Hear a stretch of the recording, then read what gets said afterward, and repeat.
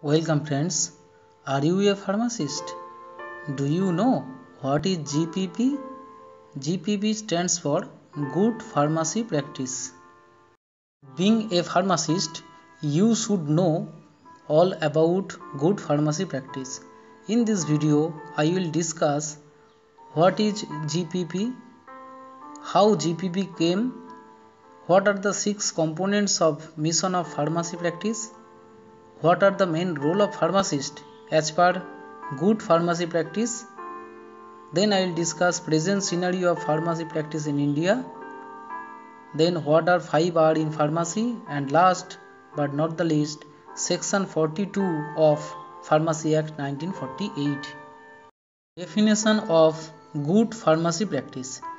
Good pharmacy practice is the practice of pharmacy that responds to the need of the people who use the pharmacist service to provide optimal and evidence based care. To support this practice, it is essential that there be an established national framework of quality standards and guidelines. How the concept of GPP came. In the year of 1992, the International Pharmaceutical Federation developed standards for pharmacy service under the heading Good Pharmacy Practice in Community and Hospital Pharmacy Settings. The text on good pharmacy practice was also submitted to the World Health Organization Expert Committee on Specifications for Pharmaceutical Preparations in the year of 1994. Following the recommendations of the WHO Expert Committee and the endorsement of the FIP Council in 1997, the FIP as well as WHO joint document on good pharmacy practice was published in 1999 in the 35th report of the WHO Expert Committee on Specifications for Pharmaceutical Preparations. What are the six components of the mission of pharmacy practice? The mission of pharmacy practice is to contribute to health improvement and to help patients with health problems to make the best use of their medicines. There are six components to this mission which includes number 1 being readily available to patients with or without an appointment. Number 2 identifying and managing or triaging health related problems. Number 3 health promotion. Number 4 assuring effectiveness of medicines. Number 5 preventing harm from medicines. And last but not the least, number 6 making responsible use of limited healthcare resources. What are the main roles of pharmacist as per good pharmacy practice? There are four main roles where pharmacist involvement or supervision is expected by society and the individual they serve. Number 1 prepare, obtain, store, secure, distribute, administer, dispense and dispose of medical products. Number 2 provide effective medication therapy management. Number 3 maintain and improve professional performance. And number 4 contribute to improve effectiveness of the healthcare system and public health. What is the present scenario of pharmacy practice in India?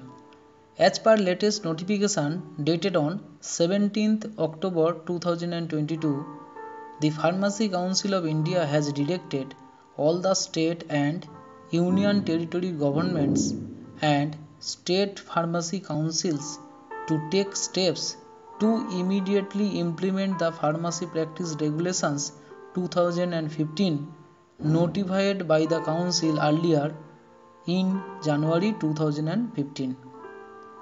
The new Pharmacy Practice Regulation 2015 was enforced by PCI to regulate pharmacy practice in India. As per rules, dispensing of drugs should be carried out by the qualified registered pharmacist only, which was the main agenda of Section 42 of Pharmacy Act 1948. What is Section 42 of Pharmacy Act 1948? The Pharmacy Act 1948 is meant to regulate the profession of pharmacy in India, which has three parts. First part on or after such date as the state government may be notified in the official gazette appointed in this behalf no person other than a registered pharmacist shall compound or prepare or mix or dispense any medicine on the prescription of a medical practitioner provided that this subsection shall not apply to the dispensing by a medical practitioner of medicine for his own patients or with the general or special sanction of the state government for the patients of other medical practitioner. Second part of Section 42 of Pharmacy Act 1948 describes whoever contravenes the provision of subsection 1 shall be punishable with imprisonment for a term which may extend up to 6 months or with a fine not exceeding 1000 rupees or both. That means imprisonment plus fine of rupees 1000 what are five r in pharmacy?